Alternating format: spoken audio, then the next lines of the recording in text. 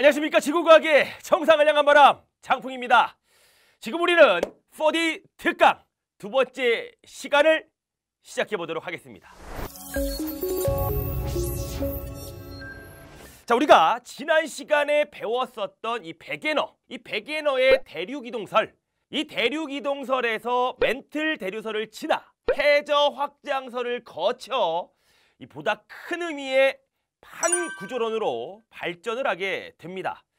자, 판구조론이라고 하는 것을 살펴보면 지구의 이 외곽 껍데기인 암석권이 약 10여 개의 판으로 나누어져 있고 이 판들은 멘틀, 대류에 의해서 여러 방향으로 이동하면서 대륙과 해양의 탄생 그리고 산맥의 형성 또한 지진과 화산대의 형성 등 이 지표상의 여러 가지 대규모의 지질학적 현상들을 일으킨다라는 이론을 판구조론이라고 하지요. 자 그렇다면 판은 도대체 무엇일까요?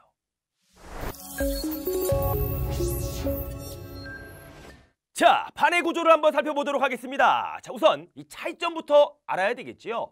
자, 판이라는 것은 이 지각과는 조금은 다른 거야. 판은 지각에다가 최상부 멘트를 포함한 두께 약 100km로 이루어진 암석권이라는 것. 자, 지각에 최상부 멘트를 더한 것이 판이다라는 것. 차이점을 알겠지요. 그리고 이런 여러 개의 판들은 유동성을 가진 연약권 이에 놓여 있습니다. 일반적으로 우리는 해양 지각을 포함하는 판을 해양판, 대륙 지각을 포함하는 판을 대륙판이라고 하겠지요. 해양판으로 종류를 보면 뭐 태평양판, 뭐 나스카판 등이 있고요. 이 대륙판으로는 우리나라가 포함되어 있는 유라시아판, 그리고 아프리카판, 또 남북 아메리카판 등이 있습니다. 근데 이 각 판들은 하나씩 독립적으로 움직이기 때문에 이 판의 내부는 지질학적으로 안정되어 있고요. 판들 사이의 상호작용은 모두 판의 경계에서 일어나게 된다는 것. 즉 대부분의 지진활동, 화산활동, 그리고 조산작용은 모두 다 판의 경계에서 일어난다는 것.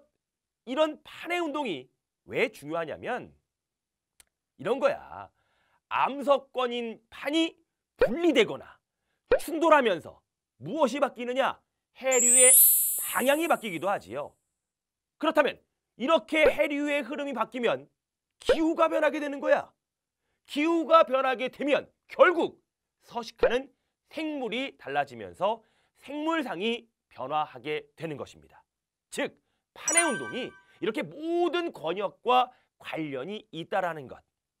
그럼 이런 판의 경계는 어떤 종류가 있으며 지구에서 판의 경계에서 어떤 일이 벌어지는지 좀 더 우리는 자세히 알아봐야 되겠습니다.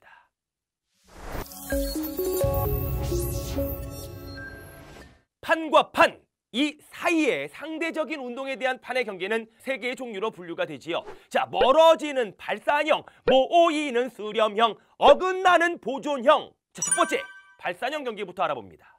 자, 판과 판이 양쪽으로 잡아당기는 힘, 즉 잡아당겨 장력에 의해 판이 벌어지는 경계를 말하지요. 자, 서로 벌어지면서 멀어져 가는 이 판의 경계에는 그 빈 공간을 메우기 위해서 고온의 부분 용융된 유동성이 강한 물질이 멘틀에서부터 솟아오르게 됩니다.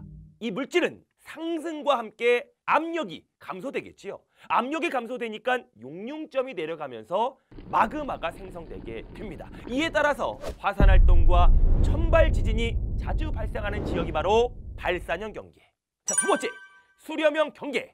이 서로 부딪히는 판의 한쪽이 밀도 차이로 인해서 해구에서 멘틀 속으로 침강하여 지표로부터 사라져버리는 섭입형 경계가 있습니다. 자, 밀도가 큰 판이 밀도가 작은 판으로 밀려서 섭입하면서 멘틀 속으로 침강하게 되는데 섭입해 들어가는 판은 천발 지진부터 신발 지진까지 일으키게 되지요. 유일하게 판의 경계 중 신발 지진이 일어나는 판의 경계입니다. 그러면서 마그마를 형성하게 되고 화산 활동이 일어나게 되지요. 만약 수렴하는 두 개의 판의 밀도가 비슷해서 멘틀 속으로 섭입되지 않는 경우에는 지각이 서로 충돌을 하게 됩니다. 이 충돌을 하면서 올라갑니다. 히말라야 습곡사 한맥 그리고 티벳 고원과 같은 조산대가 나타나게 되지요.